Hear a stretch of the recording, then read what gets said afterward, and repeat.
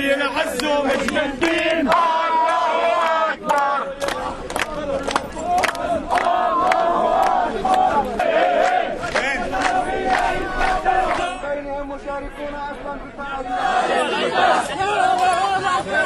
لا لا هشام هو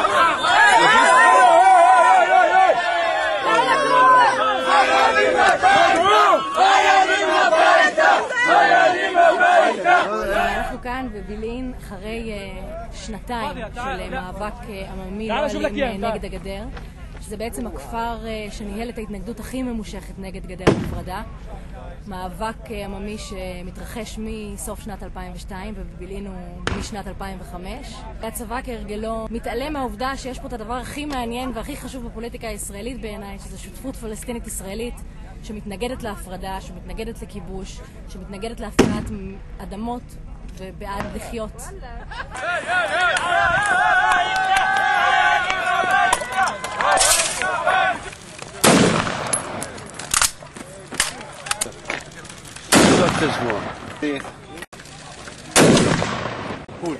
לא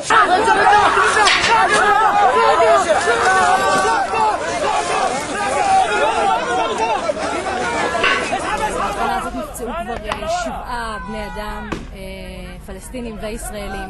נעצרו שני ישראלים.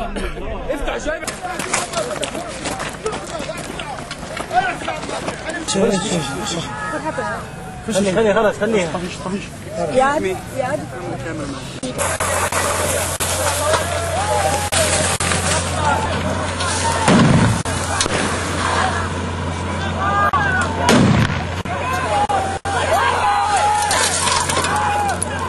هذاك راعي الختيار اخو الشرموطه يا ابن الزراعه